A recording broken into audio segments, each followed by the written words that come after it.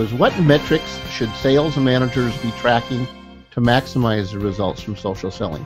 Is there are there a few that really are important that we should be paying attention to? I want to see people expanding the quality of their network. I don't want them to just always be connecting. I want them to be expanding and connecting with the right type of buyers. Those are some of the things that customers ask us about. Uh, I want to see them measuring the the number of net new meetings they're able to secure as a result of maybe using uh, additional channels.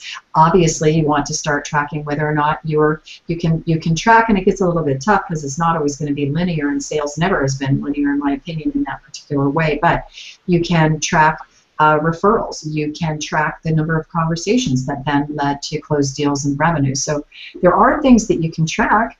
Um, you know, having a well decked out profile. I, think at that at this point it's a given. So if you're just measuring whether or not somebody has a great looking profile, I think you're missing the entire point. The point is to use this as a vehicle to get to those prospects where maybe other communication is not working. So I, I like to hear from the guys, but those are some of the things we encourage customers to track.